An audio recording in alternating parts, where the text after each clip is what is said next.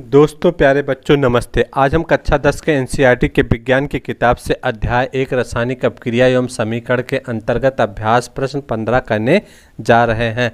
अभ्यास प्रश्न क्या कहता है? सबसे पहले हम प्रश्न को पढ़ेंगे, उसके बाद समझेंगे। तो प्रश्न हमारा कह रहा है, अवक्षेपण अपक्रिया से आप क्या समझते हैं? उदाहरण देकर समझाइए। अवक्षेपण अपक्रिया से आप क्या समझते हैं? उदाहरण देकर समझाइए। सबसे पहले अवक्षेपण का मतलब समझेंगे। अवक्षेपण का मतलब होता है, जिस तरह से यदि हम एक हमारे पास परख नली हो, यदि हम एक परख नली रखते हैं या कोई पात्र रखते हैं, इसमें क्या मिलाते हैं? पानी, इसमें क्या मिलाते हैं? पानी और मिट्टी। पानी और क्या करते हैं? मिट्टी। मिट्टी क्या करते हैं? मिलाते हैं। और मिला करके थोड़ी देर रख देते पानी और मिट्टी क्या करते हैं? ऐसे मिला देते हैं और उसके बाद थोड़ी देर बाद थोड़े, थोड़ी देर बाद क्या होता है? किसी पात्र में जो चाहे परख नली हो सकता है या कोई पात्र हो सकता है तो क्या होता है? मिट्टी ऐसे नीचे बैठ जाती है। मिट्टी ऐसे नीचे बैठ जाती है और पानी क्या होता है? ऊपर हो जाता है। ये मिट्टी नीचे हो जाती है और पानी क्या होता है? ऊपर हो जाता है। तो इस तरह से ये जो पानी ऊपर हो गया, ये जो हमारे पात्र में पानी क्या हो गया? ऊपर हो गया। तो इसमें जो मिट्टी नीचे बैठ गई इसी को क्या कहते हैं? अवक्षेपण, यानी ठोस अवस्था अलग का होना।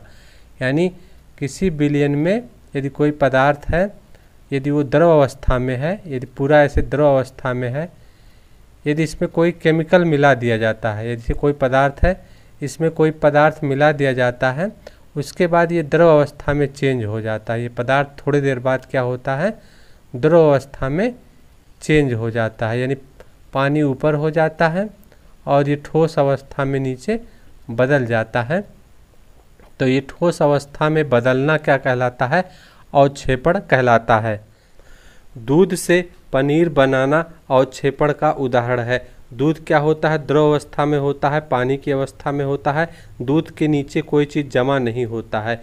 यदि दूध के अंदर हम नींबू निचोड़ देते हैं या एसिड डाल देते हैं तो दूध हमारा क्या होता? है फट जाता है। और फट जाने का मतलब है जो हमारा नींबू था, वो भी द्रव अवस्था में था और जो दूध था, वो भी द्रव अवस्था में था। उसमें हम दोनों को एक दूसरे में मिलाया और द्रव अवस्था में होने के बावजूद भी उसमें क्या हुआ, एक क्रिया हुआ और क्रिया होने के बाद दूध हमारा फट गया और नीचे क्या हो गया, ठोस अवस्था में, क्रीम की अवस्था में दूध हमारा जम गया और उस दूध को क्या कहते हैं, पनीर कहते हैं। उस दूध से पनीर बनाया जा सकता है। तो इस तरह से दूध का फट जाना, दूध में एसिड डाल करके उसे पनीर बनाना कहलाता है, अवक्षेपण कहलाता है। इस तरह से अवक्षेपण को समझेंगे। अब हम अवक्षेपण का रासायनिक समीकरण भी लिखने जा रहे हैं। उस समीकरण के माध्यम से भी हम समझेंगे। तो समीकरण हमारा है सोडियम सल्फेट। ये हमारा क्या है? सोडियम सल्फेट है। सोडियम एन ये हमारा सोडियम सल्फेट है। और सोडियम क्या है? सोडियम सल्फेट ये जलीय विलयन होता है।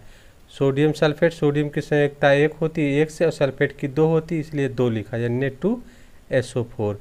ये क्या है? जलीय विलयन, इसलिए हम क्या लिखेंगे? A Q aqueous. यानी जल, द्रव अवस्था में रहता सोडियम सल्फेट क्या है? द्रव अवस्था में ये मिलता है। आप क्या कर सकते हैं? अपने शहर के जहाँ साइंस का उपकरण मिलता है, रासायनिक विज्ञान का उपकरण मिलता है, वहाँ से खरीद के ला सकते हैं। अगला है बेरियम क्लोराइड। क्या करते हैं? बेरियम क्लोराइड, ये भी आपकी प्रयोगशाला की दुकान से, जहाँ शहर में मिलता है, प्रयोगशाला की दुकान होती है, वहाँ से बेरियम क्लोराइड भी हम खरीद सकते हैं। तो ये भी क्या है? जलीय बिलियन है। ये क्या है? जलीय बिलियन है। एक्वस माने जल, जलीय बिलियन है। द्रव अवस्था में जिस तरह दूध होता है, जिस तरह पानी होता है, आपस में क्या करता है? क्रिया करता है। तो सोडियम सल्फेट क्रिया करके क्या बनाएगा? यह अदला बदली हो रहा है, द्विग विस्थापन अपक्रिया है। सोडियम क्लोरीन के साथ जुड़ जाता है और बेरियम क्या होता है? सल्फेट के साथ जुड़ जाता है। तो ये बनता है बेरियम सल्फेट। क्या बनता है? Barium sulphate. B A S O four ये हमारा बनता है। B A S O four बनता है। बेरियम की संयुक्ता दो होती है, सल्फेट के दो होती है, इसलिए लिखी नहीं जाएगी। तो ये क्या बनता है?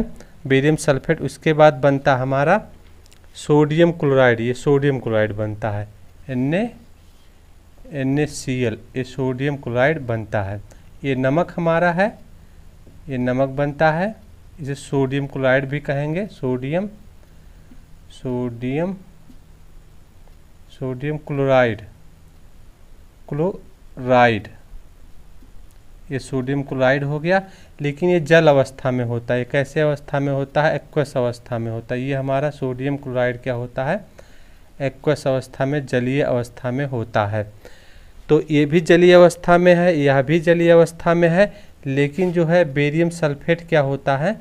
बेरियम सल्फेट होता है, अवक्षेप अवस्था में होता है। क्या होता है? अवक्षेपण में होता है। अवक्षेप होता है। अवक्षेप। जो प्रश्न में दिया गया, अवक्षेप अवस्था में होता है, यानी सॉलिड अवस्था में, ठोस अवस्था में होता है। यानी हमारे अभिकारक पदार्थ क्या थे? ये जलीय अवस्था में थे।